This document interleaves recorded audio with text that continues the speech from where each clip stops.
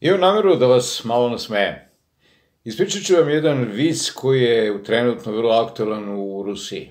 Kažu, kada su Rusi bili fascinirani francuskom, učili su francuski jezik i njihov rad se završio osvajanjem Pariza.